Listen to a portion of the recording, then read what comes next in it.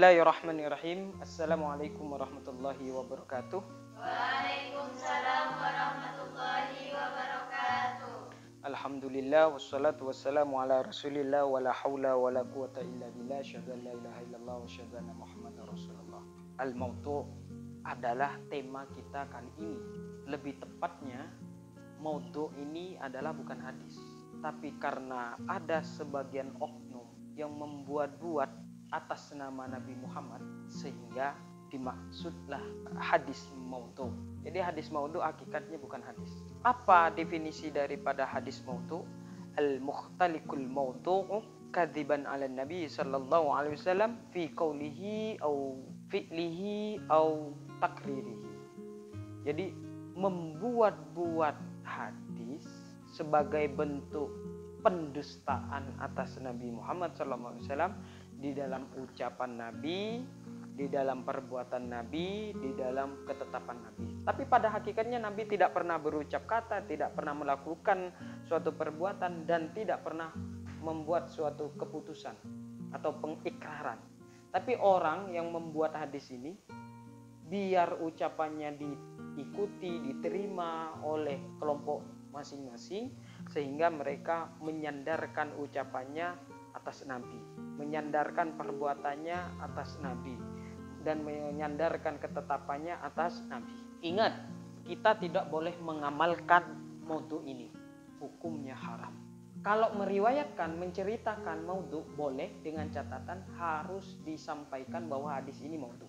Contoh misalnya, contoh hadisnya, contoh maudhunya ahibbul araba li salasin li anni arabiyun wal qur'anu arabiyun wa kalamu ahlil jannati arabiyun. Cintailah orang Arab itu karena tiga perkara. Satu li anni arabiyun. Aku orang Arab. Dua wal qur'anu arabiyun. Al-Quran menggunakan bahasa Arab. Yang ketiga wa kalamu ahlil jannah arabiyun. Bahasa orang-orang ahli surga kelak itu menggunakan bahasa Arab. Kalau kita lihat dari redaksi hadis ini sepintas nggak ada yang salah. Ayo, Nabi Muhammad orang Arab. Al-Quran menggunakan bahasa Arab.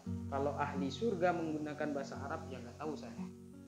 Tapi ya, saya dengar-dengar orang-orang ahli neraka itu bahasanya hamtum harehe itu pakai bahasa bahasa India katanya. Tapi sekarang kita cek nih ini bukan hadis. Ya. Ini bukan hadis, ini maudhu. Walaupun secara makna tidak ada yang salah. Lalu kenapa ini bisa disebut hadis atau disebut maudhu? Karena ini tidak memiliki sanad. Dan ingat, walaupun Nabi Muhammad itu orang Arab, Al-Quran menggunakan bahasa Arab, tapi ingat Nabi itu tidak memilih-milih berdasarkan keturunan. Tidak berdasarkan keturunan dalam konteks ini. Kalau hadis do'if, hadis do'if itu masih boleh kita amalkan. Tapi kalau maudhu sama sekali tidak boleh kita amalkan. Karena ini dusta, pendustaan.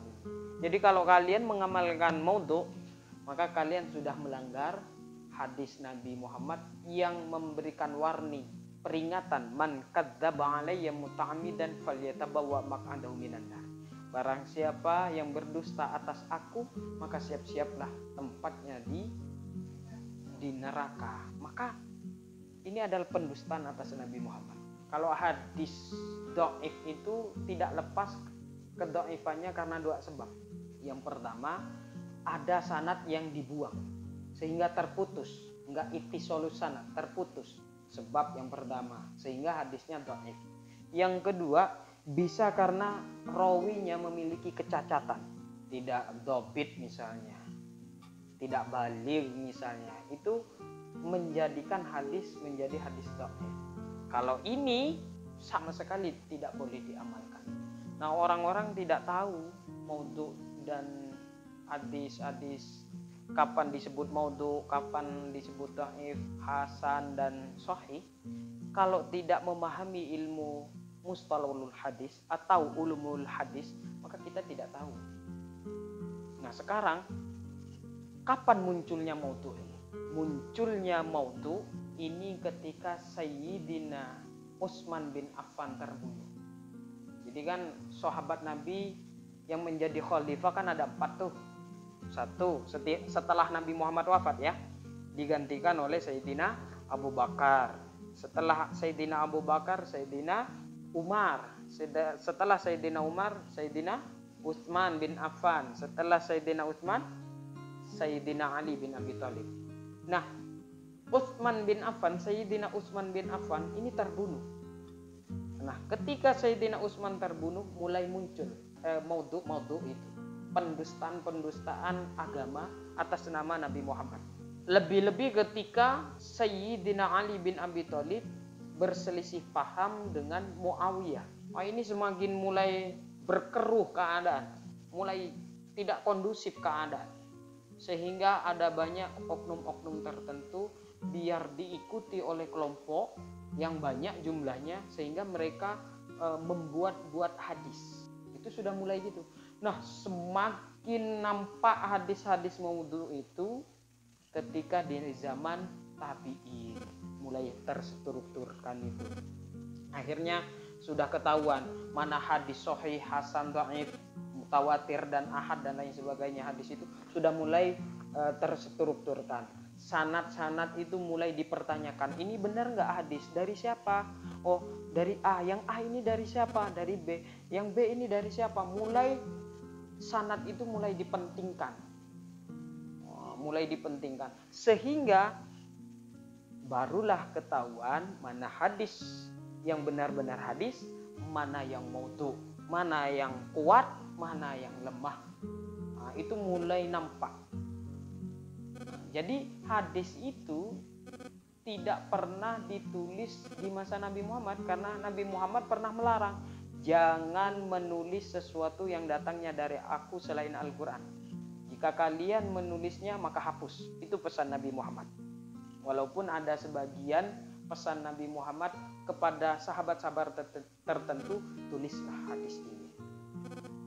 Tapi ini hanya diperuntukkan kepada orang-orang tertentu. Sahabat secara umum dilarang oleh Nabi Muhammad menulis hadis, baik ucapan Nabi, perbuatan Nabi, dan atau ketetapan Nabi. Di masa Nabi Muhammad dilarang. Baru di masa tabi'in mulai dipentingkan hadis ini. Ditulislah, dikodifikasilah, sehingga muncullah ilmu ulumul hadis atau mustalahul hadis. Jadi kita sangat pen penting, sangat urgen memahami ulumul hadis ini. Sekian dan terima kasih. Wassalamualaikum warahmatullahi wabarakatuh.